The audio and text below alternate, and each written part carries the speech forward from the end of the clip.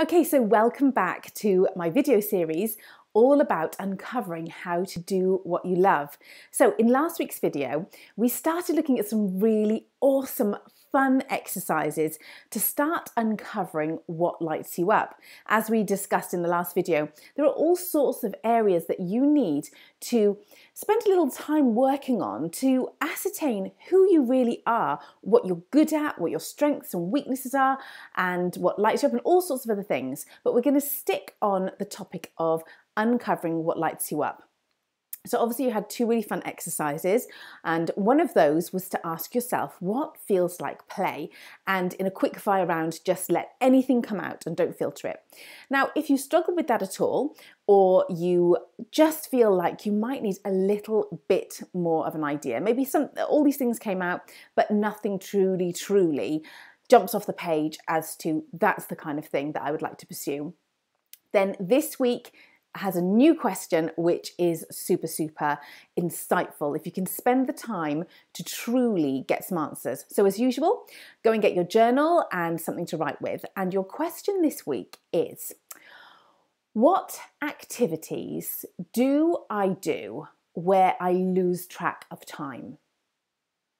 So we're looking here for the things where you drop into what we call a state of flow. So that means the kind of things that you do where you completely forget to eat, you finish doing whatever you've been doing, and you go, I cannot believe where the time went. How, how did two hours just pass by? It felt like nothing.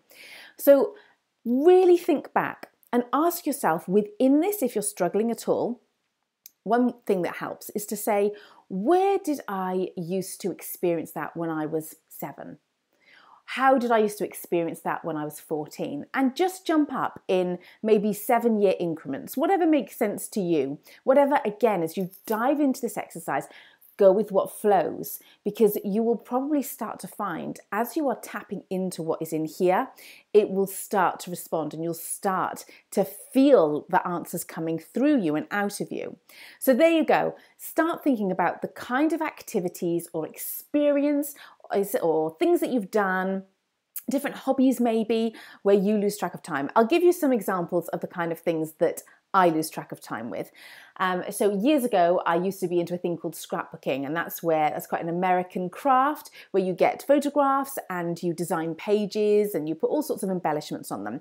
When I used to do that, literally hours would pass and I just wouldn't know where the time had gone. I absolutely loved the the spatial um, element of trying to work with your white blank space on a page and your busyness and focal points.